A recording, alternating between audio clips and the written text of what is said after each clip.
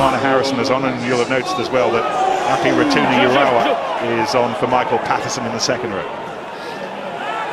Yeah, I think uh, you know at the start of the week, teams will always try and get certain players subbed off the pitch, and Louis Picamoles would have been high on that list. He's been anytime Northampton been good this season, been heavily due to Louis Picamoles' performances. I think he got to cause that little bit of a problem.